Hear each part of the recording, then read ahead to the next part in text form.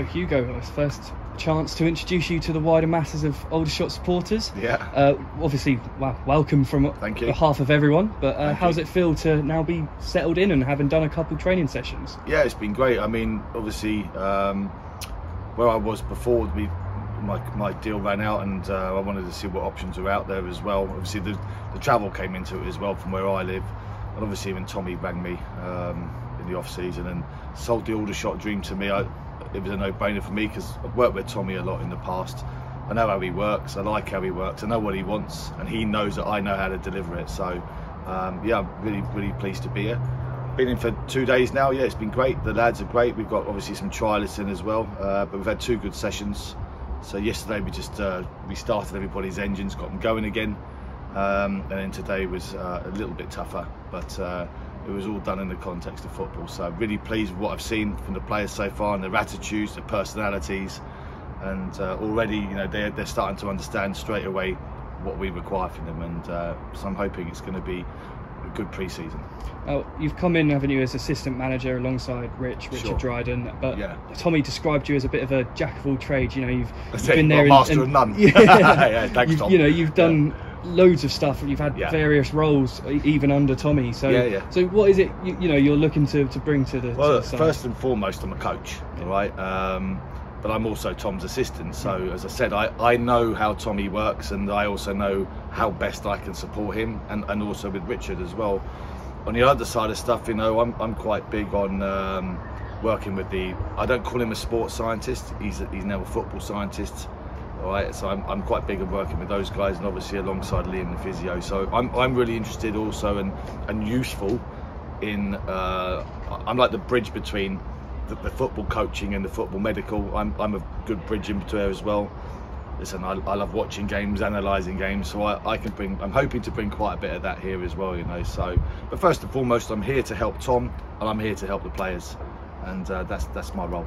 as we mentioned, there's there's been a couple of sessions now. Uh, you know, that's your first chance to really see a few of the lads that are here from last season. Obviously, you knew Aaron and um, Theo from your time at Kings Yeah, Lynn, yeah, didn't you? But um, how how have you found that uh, seeing those lads that you know have just been introduced to?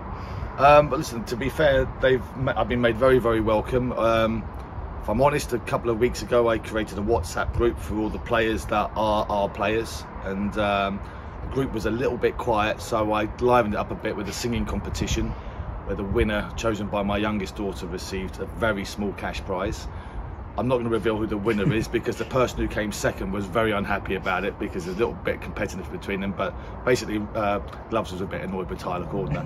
but my yeah, my, my youngest chose it. But so it was a little way of breaking the ice. Everyone got involved in it, and it was a good laugh. So when I walked in yesterday, it was there was no ice to break, as it were. There's one or two of them I know anyway.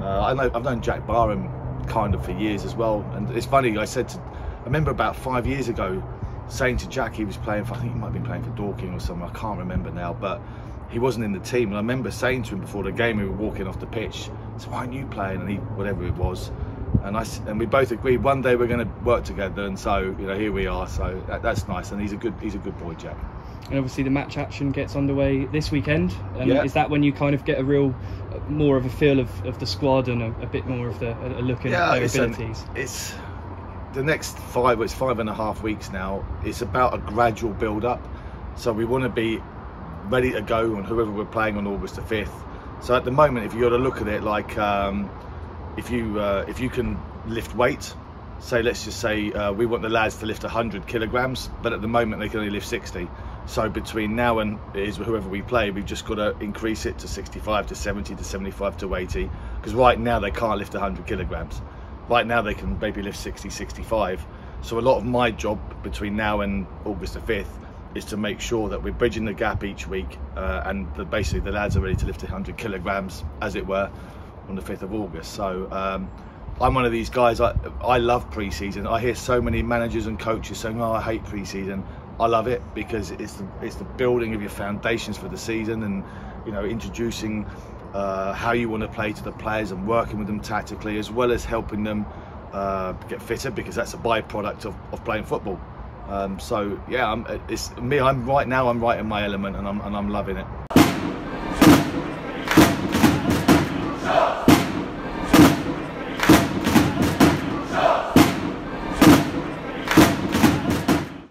Click here for the latest match highlights and click here to subscribe.